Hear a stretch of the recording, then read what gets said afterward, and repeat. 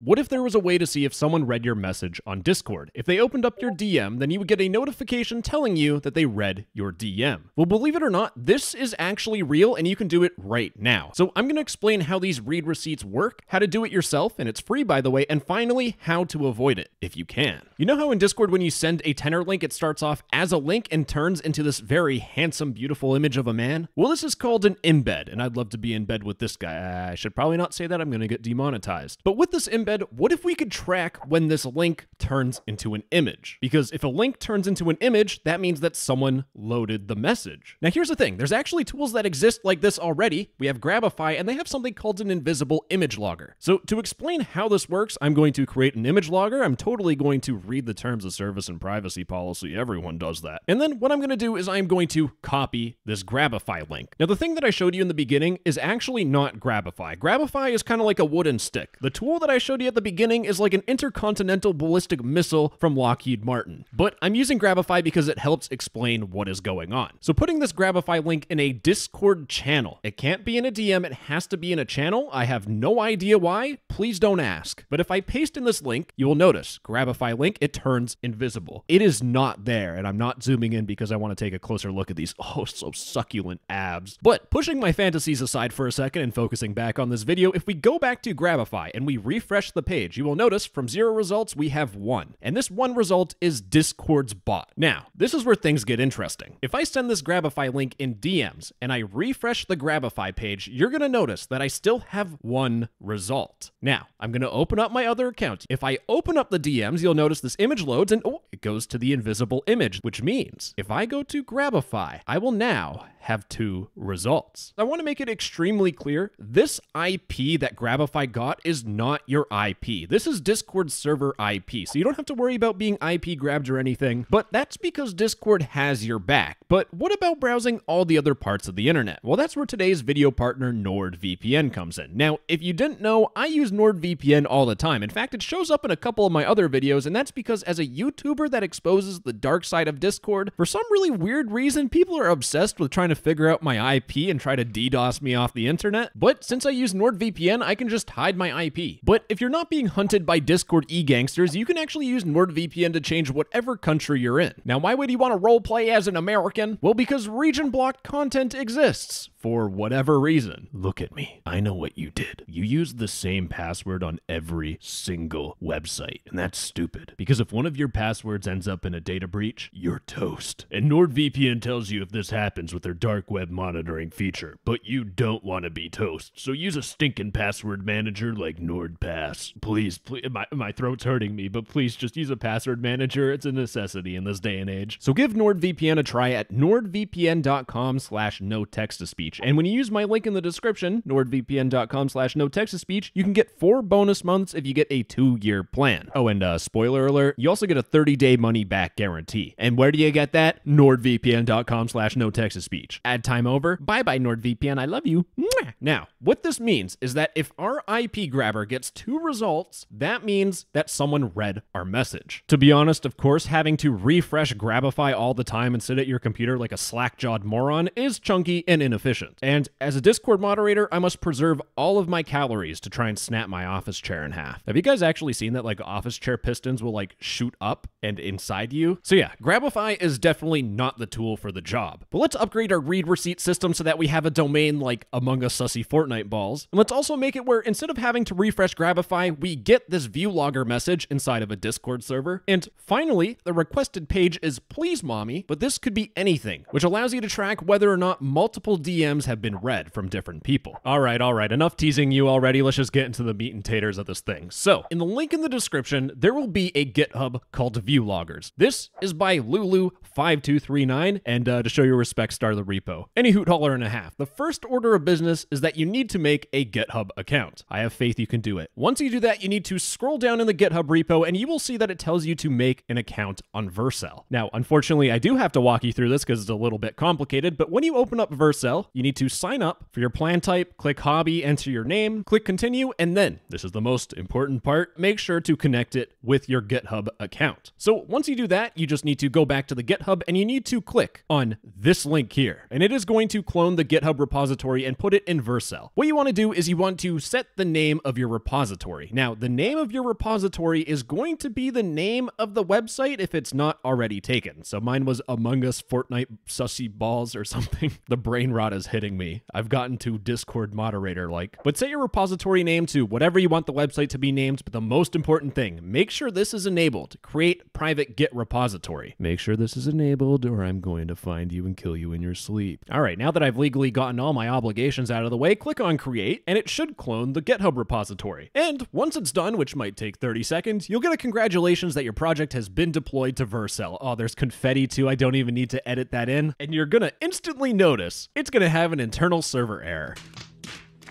So what you're going to do is click on continue to dashboard. Then you're going to want to click on this Git repository button. And gee willy, look at all these files I got. What we want to do is we want to look for middleware.js, which is this one here. Open up this bad boy and you'll see that we need to add a webhook, your Discord webhook or Guilded. I'm not judging what platform you use, just one of them is better than the other. But what you want to do is you want to create a new Discord server and you want to create a new channel. Then what you want to do is you want to right click the channel and go to edit channel. Now it's going to open up these settings and we want to go to integrations and then we have webhooks and we want to click on create webhook. And kaboom, you should have one right there. You want to click on it, scroll on down and click copy webhook URL. Do not share this webhook URL with anyone. If someone has this link, they can send messages to your Discord server. If I had your webhook, I'd send you my dream man, which we've already seen 30 times in this video because I can't make a new joke. Anywho, once you copy this webhook URL, you want to go back to your little GitHub page and we need to click on the pencil to edit this file file. And what you want to do is you want to paste in that URL in between these two quotes here. Now you can officially call yourself a coder and apply for a coding job. And once you do that, you want to click on commit changes and then just click on commit changes. You don't need to add a description. No one's reviewing your code anyways. Anywho, once you commit your changes and you go back to Vercel, it's going to do some building. And that's because Vercel has Bob the Builder in the background and he's building up your website. That wasn't funny. Can I please cut that? Once you refresh, it should say ready and you should see that the website says you've discovered a view logger. You've done it. You've followed my instructions that I'm somehow turning into instructions because I've messed up recording this five bajillion times. I don't even know where I'm at right now. Oh yeah, we need to copy the link to this website. So what you want to do is you want to right click this domain and just copy the link address. Now you actually have two other domains you can pick. Once we copy this link, we need to go back to the disk of chords. And you're going to notice that your view logger probably has five bajillion things. And that's because when Vercel deploys, it's going to show you five bajillion things. Now, with this view logger link, there's a couple things that I need to point out so you can use it properly. First, you have to send it in a Discord channel first. I don't know why. It's just how it is. I don't know what I'm doing. But when you paste in the link, you will notice that you've triggered the view logger and it will say Discord bot 2.0. That means the link is ready. But like I said before, there's another feature of this website where you get to track multiple DMs. And the way to do that is you just add some descriptor at the end of the URL. If you're trying to stalk me and see whether or not I've read your message, you can just put NTTS. Talking to your e-girl, you could put e-girl. And for me, I just picked one that's relevant, but anything after the slash will be a unique link, which allows you to track unique views on your messages. And it's for the CIA government official that I'm going to try and stalk. But when I paste in this super duper massive link, I'm going to be sent a DM. We're going to go to our read receipt server. Oh, CIA government officials trying to figure out if I evaded my taxes? No, I did them yesterday. Don't even try. But when they view my message, view logger has been triggered. And this view logger told me that the CIA government official link that I sent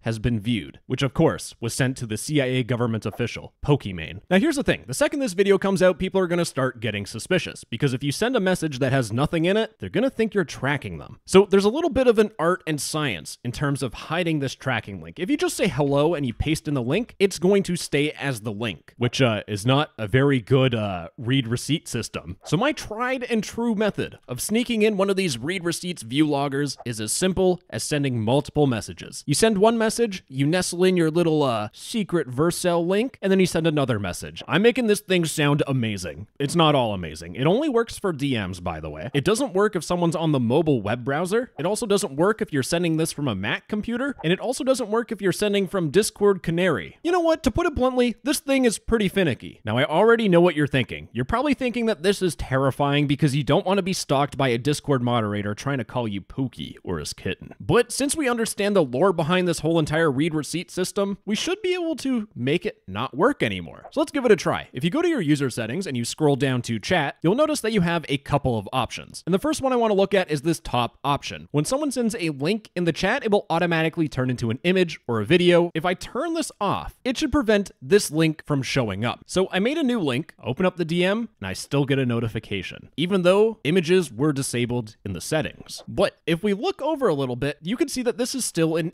embed. And if we go to our user settings, we have another option where you get to disable showing embeds and previewing websites linked in the chat. So again, I make a new tracking link, go to my DMs. If I paste in this URL, goes invisible, I get the DM. Let's go to our read receipts channel. And if I open up the DM, it still triggers the view logger. So just so we're clear, there is no way to turn off this read receipt system. You could also just block them off Discord because they're creeping you out. But I want to make it clear that this is a nice feature to have sometimes, but please don't let this become an obsession. Who am I kidding? This is Discord. I'm probably opening Pandora's box at this point by making this video. Anyways, Discord degenerates, please use this responsibly and enjoy stalking me because that's probably what's going to happen. Bye bye. I love you. Mwah.